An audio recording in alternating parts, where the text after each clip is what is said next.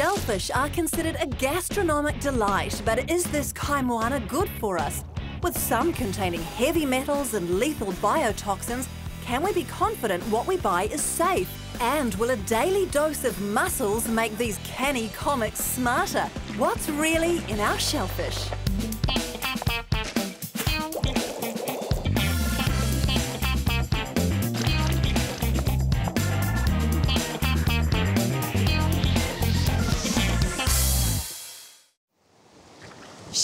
Shellfish are uh, one of New Zealand's most abundant forms of kaimoana. We have around 3,600 native species.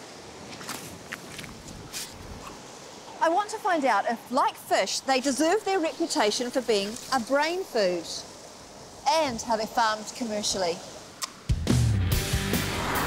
But first, what are the interesting looking bits we eat? It's about to get gooey. So with most animals that we eat, we, we tend to eat certain parts of them. It's not the case with shellfish though. What exactly are we eating? Do I want to know? most, most shellfish, we tend to eat the whole animal. Um, for example, if you take something like a mussel, we've got a foot muscle, which is used to open and close the shell, and then the uh, reproductive tissue. In this case, it's a, a, female mussel. Those are eggs in there. You can see in here the gills, which the, the mussel uses for feeding and for breathing the water. Are there parts of it that are more tasty than other parts? Um, in the case of oysters and mussels, for example, the creamy, rich flavour you get is the reproductive uh, tissue. Hmm. Goodness.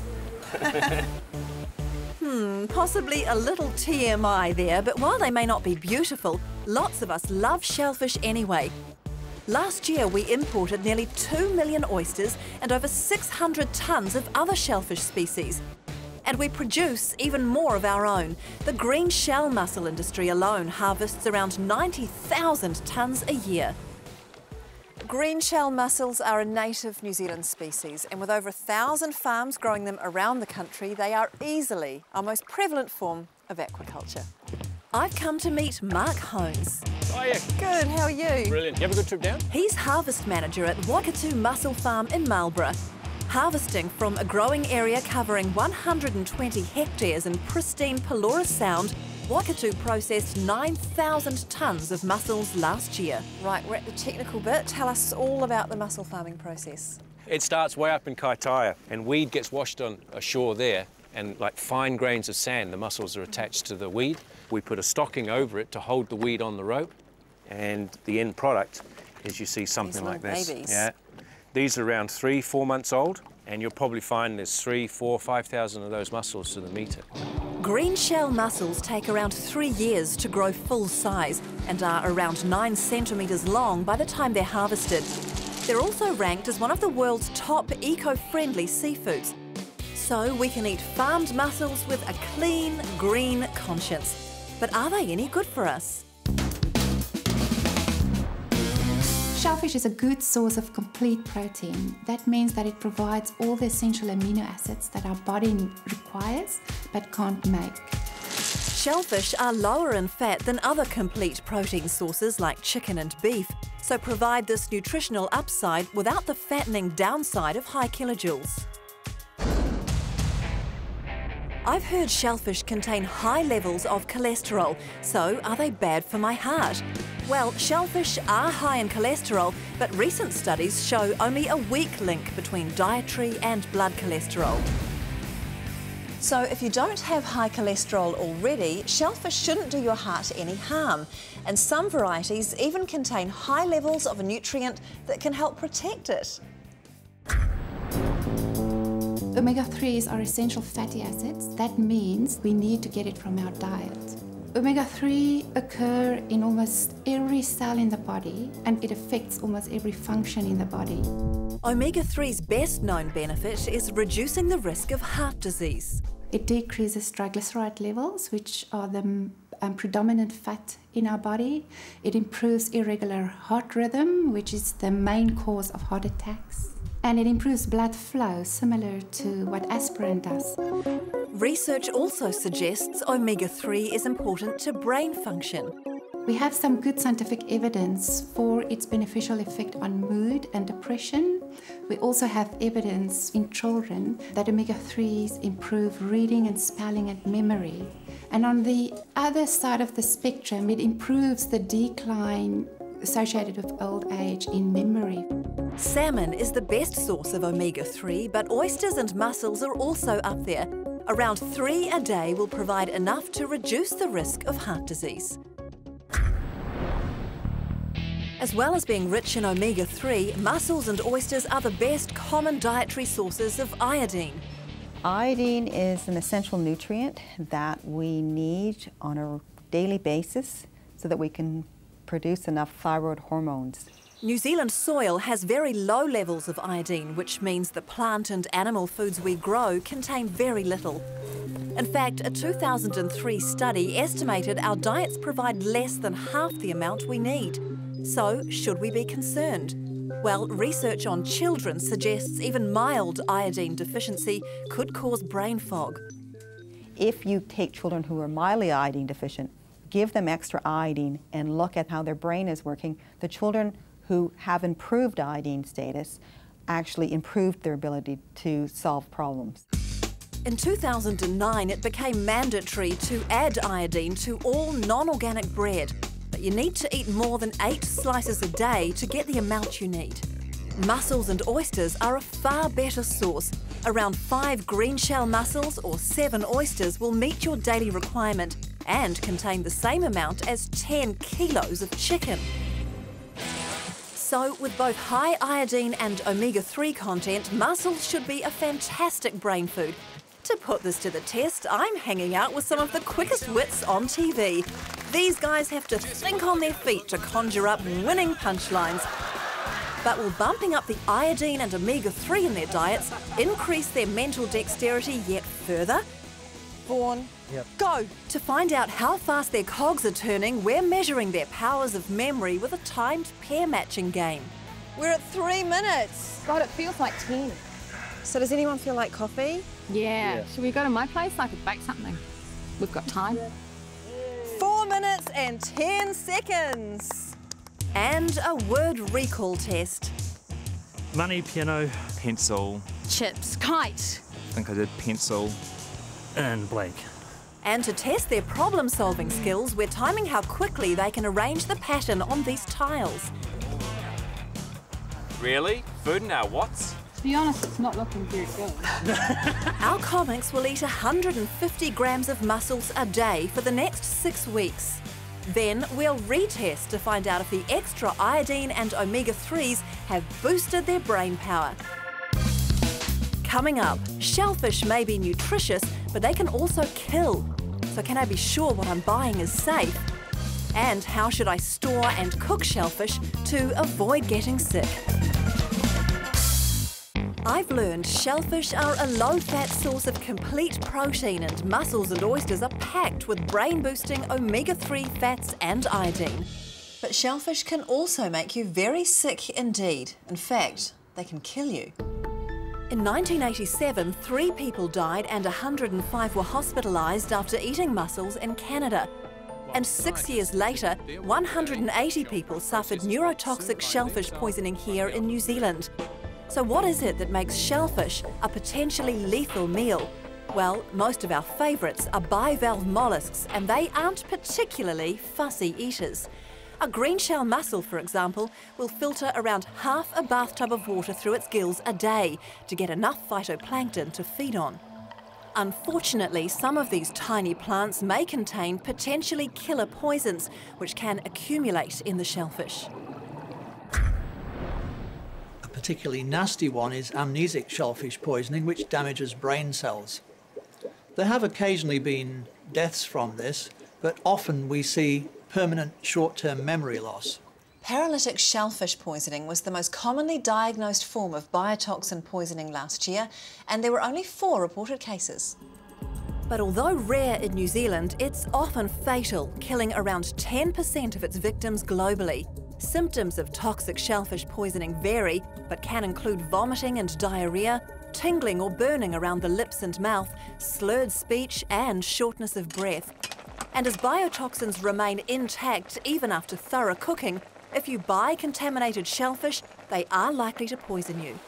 Brian Rowan is MAF's national seafood specialist. I hope he's going to tell me not to worry.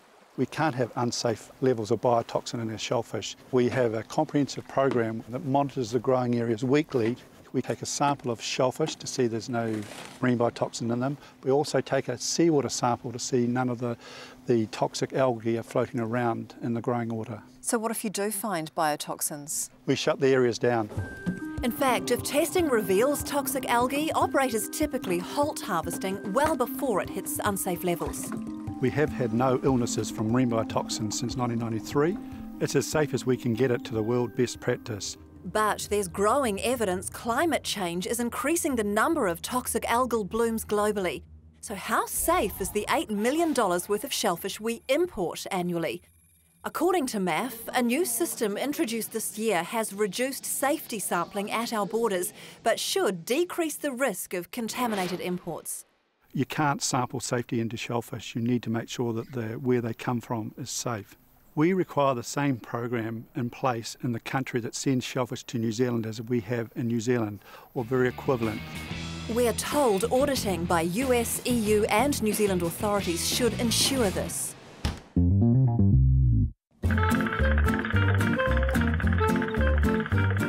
One time there was a big high tide, so when it went out, there were all these hundreds of scallops stranded on the beach, and people were going down with kerosene tins and filling them up with scallops that they'd never collected before like that.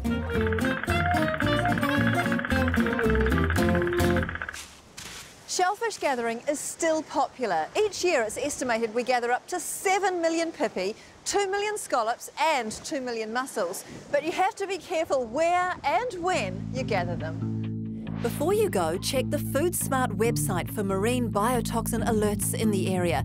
And once you get to the beach, look out for warning signs. This should safeguard against biotoxins, but that's not all shellfish may contain, which can make you sick.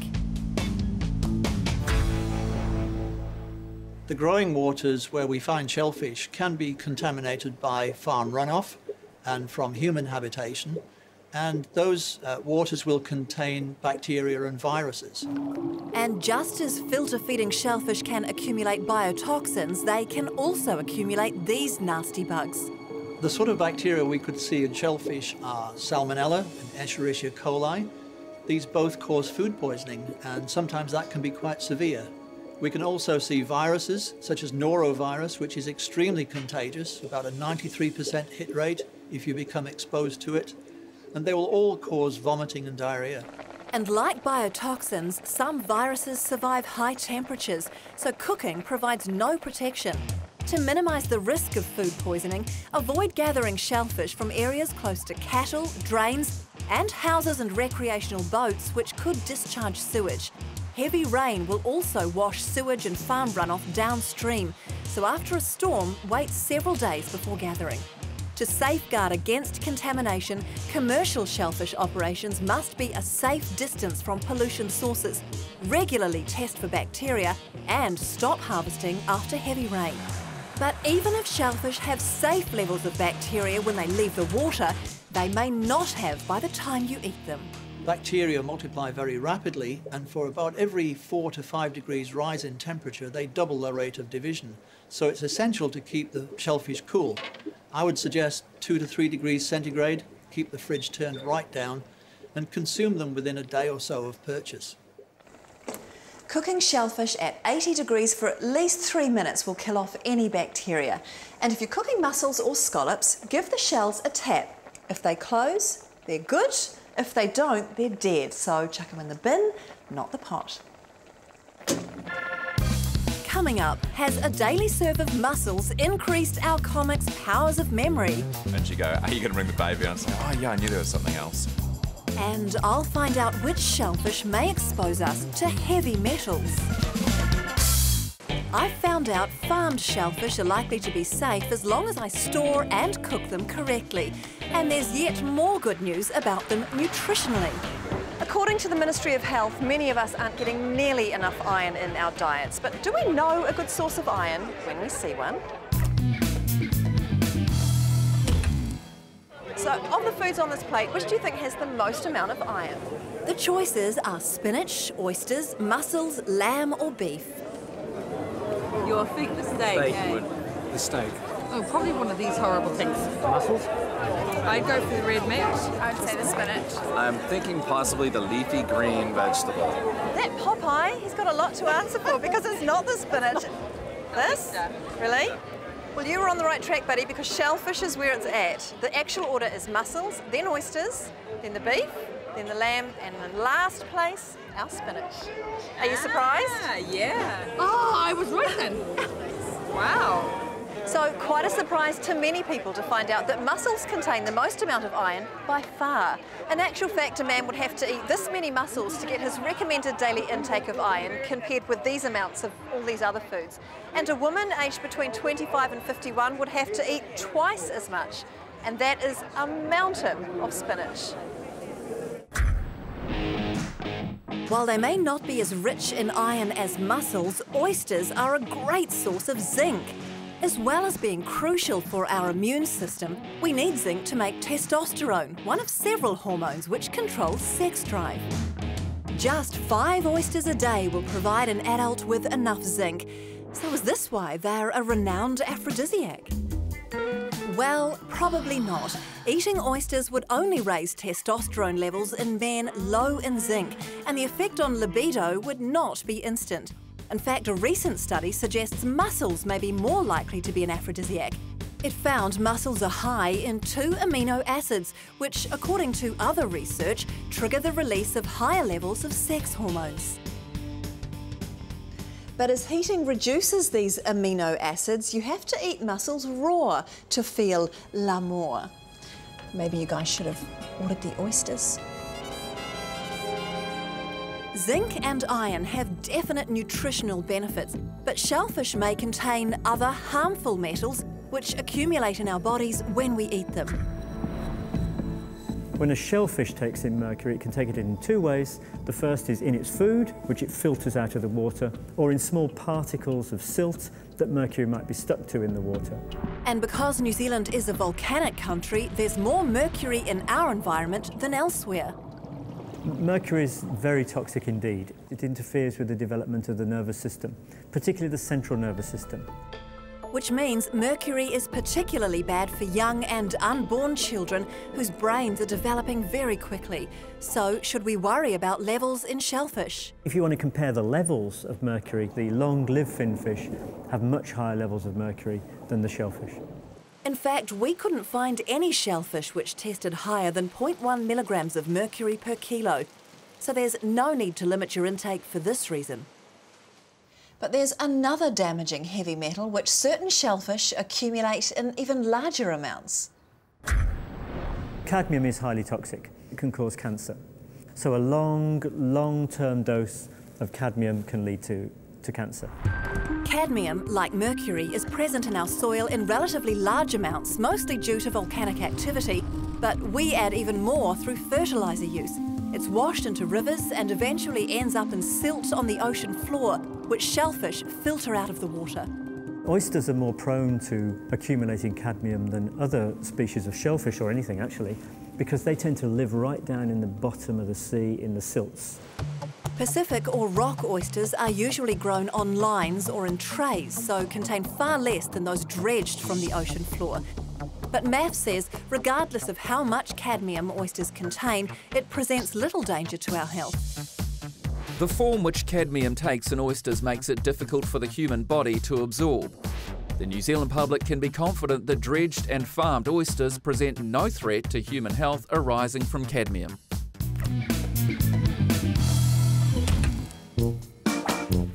Earlier, we packed off four quick wits to eat mussels every day for six weeks.